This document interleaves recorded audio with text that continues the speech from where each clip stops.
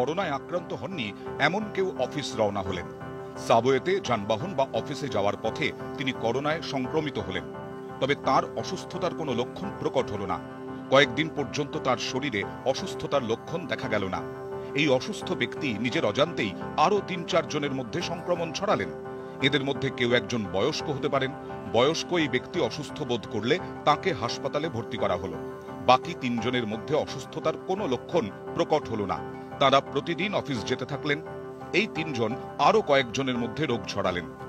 তাদের মধ্যে কয়েকজনকে হাসপাতালে ভর্তি করা হলো। বাকিদের মধ্যে অসুস্থতার লক্ষণ থাকল না এবং তারা রোগ ছড়াতে থাকলেন। এই পদ্ধতিতে আক্রান্তের সংখ্যা চক্রবৃদ্ধি হারে বাড়তে থাকবে।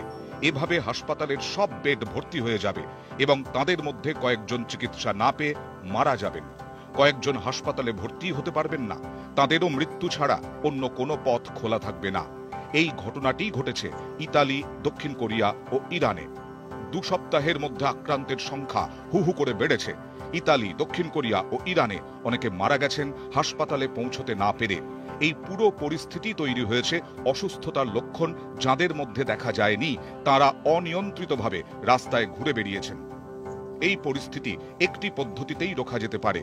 বাসে, ট্রেনে, রাস্তায় ঘোরা বন্ধ করুন। কোনো সামাজিক অনুষ্ঠানে যাবেন না। চায়ের দোকান বা পাড়ার মোড়েও বসা বন্ধ করুন। একেই বলে সামাজিক দূরত্ব তৈরি। সামাজিক দূরত্ব তৈরি করলেই অনেক কম লোক হাসপাতাল পর্যন্ত পৌঁছবেন এবং সকলে চিকিৎসা পাবেন। চক্রবৃদ্ধি হারে বেড়ে চলা এই গ্রাফ এভাবেই নিয়ন্ত্রণ করা সম্ভব।